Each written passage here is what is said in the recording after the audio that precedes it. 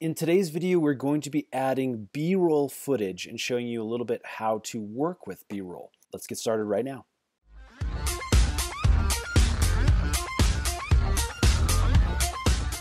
Okay, so maybe you're making a video and you figure, you know what, something like this that I'm doing where I'm kind of giving an overview of a bike that I've been riding and uh, just showing this bike for a minute straight might get a little bit boring. So we want to put some B-roll in there just to really flash things up, give the movie a little bit of movement, give it some interesting kind of shifts and transitions for people watching so they don't get bored. So maybe instead of just showing this bike, I'd like to put a picture of the bike being ridden or maybe a location where we've uh, ridden this bike. So what we need is a secondary clip to put in over this. Now, what I'm going to do really quickly is just go over to my desktop. I've got a, a video clip here that I'm going to drag in that we took while we were in Aspen, Colorado. And it'll just give a little bit of, uh, as you can see, some color and a little bit of movement uh, for where we were riding this bike. So let me move this uh, project window back here so you can see it fully. And then what I'm going to do is I'm going to actually take my slider and just move it out a little bit just so we can work with a larger area within this clip.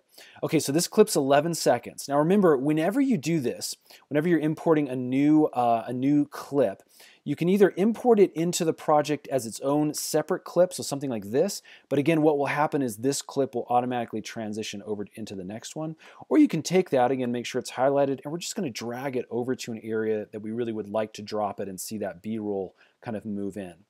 Something else you need to remember is that if you have double audio, both of those audio pieces are going to play. That's something you really don't want because it can get very distracting, especially if there's dual talking.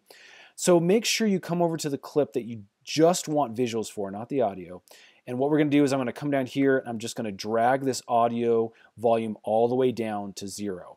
So now we're just going to get that visual as the as the uh, the clip transitions. So let me show you kind of what that looks like now. Note here in Colorado, so we've had a little bit of mud issues over the last few days, and as a result, this thing was.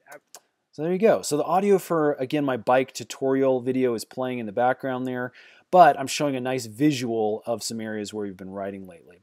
That again is the easiest way to drop B-roll and to use B-roll in your project, especially if you have some of these audio uh, overlays. Uh, just to, again to make things a little bit interesting. All right, I'm keeping this super simple. There's a lot more ways of using B-roll, but again, this is probably the easiest to just keep things seamless and, uh, and on track. I hope that helps. If it has, would you guys hit that thumbs up button? Helps us know we're making good videos for you. And you might want to subscribe because we got a lot more iMovie tutorials that are coming up really, really soon. Thanks so much for watching.